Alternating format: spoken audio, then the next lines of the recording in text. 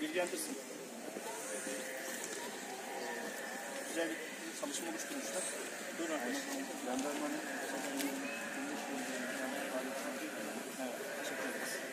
Türkiye Cumhuriyeti Jandarması emniyet ve asayiş ile kamu düzeninin korunmasını sağlayan diğer kanunlar ve nizamlar ile Cumhurbaşkanlığı kararnamesinin vermiş olduğu görevleri yerine getiren silahlı genel kolu kuvveti.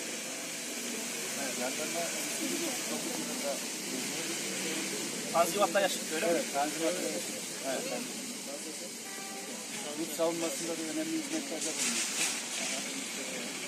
33 Mayıs 2016 yılında tamamen İçişleri Bakanlığı'na bağlandı.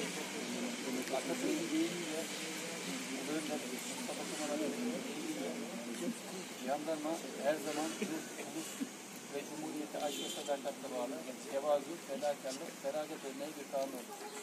Arz edilir. Burada ney var? Yayınlarımız. İç iş yayınımız oluyor. Özellikle jandarma alınan dersler merkezi. Daha önce ben Türkiye'deki tüm jandarmaların başına gelmiş emsal eden olaylar. Burada örnek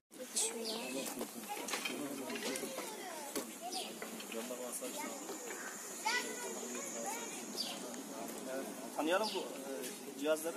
Arkadaşlar da tanısın.